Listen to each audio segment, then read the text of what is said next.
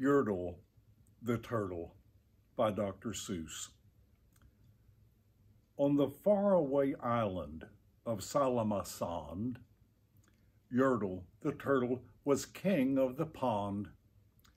A nice little pond. It was clean. It was neat.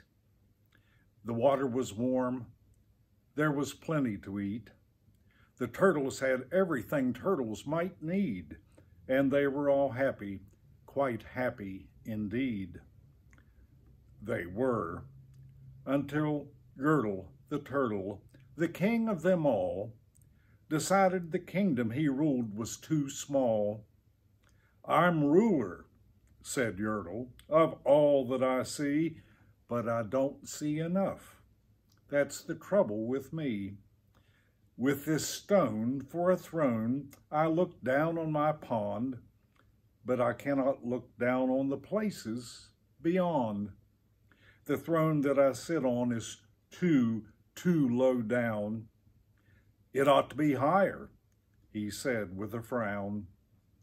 If I could sit high, how much greater I'd be.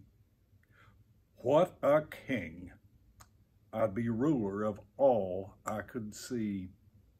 So Yertle, the turtle king, lifted his hand, and Yertle, the Turtle King, gave a command. He ordered nine turtles to swim to his stone, and using these turtles, he built a new throne. He made each turtle stand on another one's back, and he piled them all up in a nine-turtle stack. And then Yertle climbed up he sat down on the pile. What a wonderful view! He could see most a mile. All mine, Yertle cried. Oh, the things I now rule. I'm king of a cow, and I'm king of a mule. I'm king of a house, and what's more, beyond that, I'm king of a blueberry bush and cat I'm Yertle the turtle, O marvelous me, for I am the ruler of all that I see. And all through that morning, he sat there up high, saying over and over, A great king am I. Until long about noon, then he heard a faint sigh. What's that? snapped the king, and he looked down at the stack and he saw at the bottom a turtle named Mac, just a part of his throne. And this plain little turtle looked up and he said, Beg your pardon, King Yertle. I've pains in my back and my shoulders and knees. How long was, must we stand here, your majesty, please? Silence, the king of the turtles barked back, I'm king, and you're only a turtle named Mac. You stay in your place while I sit here and rule. I'm king of a cow, and I'm king of a mule.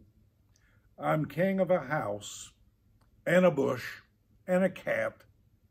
But that isn't all. I'll do better than that. My throne shall be higher his royal voice thundered. So pile up more turtles. I want about 200. Turtles, more turtles, he bellowed and brayed. And the turtles way down in the pond were afraid. They trembled, they shook, but they came. They obeyed. From all over the pond they came, swimming by dozens, whole families of turtles with uncles and cousins, and all of them stepped on the head of poor Mac. One after another, they climbed up the stack. Then, Yertle the turtle was perched up so high he could see 40 miles from his throne in the sky. Hooray! shouted Yertle. I'm king of the trees. I'm king of the birds and I'm king of the bees. I'm king of the butterflies, king of the air. Ah me, what a throne, what a wonderful chair. I'm Yertle the turtle, oh marvelous me, for I am the ruler of all that I see. Then again, from below, in the great heavy stack, came a groan from that plain little turtle named Mac. Your Majesty, please, I don't like to complain, but down here below, we are feeling great pain. I know up on top you're seeing great sights, but down at the bottom, we too should have rights. We turtles can't stand it. Our shells will all crack. Besides, we need food. We are starving, groaned Mac.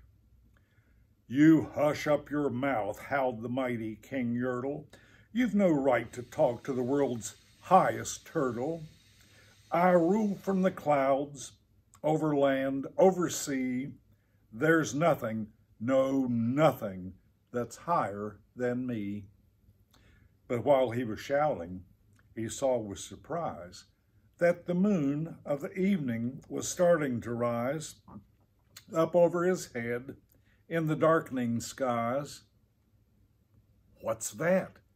snorted Yertle. Say, what is that thing that dares to be higher than Yertle the king? I shall not allow it. I'll go higher still.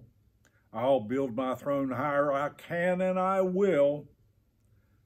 I'll call some more turtles. I'll stack 'em to heaven. I need about 5,607. But as Yertle, the Turtle King, lifted his hand and started to order and give the command, that plain little turtle below in the stack, that plain little turtle whose name was just Mac, decided he'd taken enough. And he had. And that plain little lad got a little bit mad, and that plain little Mac did a plain little thing. He burped, and his burp shook the throne of the king. And Yertle the turtle, the king of the trees, the king of the air, and the birds and the bees, the king of a house and a cow and a mule, well, that was the end of the Turtle King's rule. For Yertle, the king of all Sala-ma-Sond, fell off his throne and fell plunk into the pond. And today, the great Yertle, that marvelous he, is king of the mud. That is all he can see. And the turtles, of course.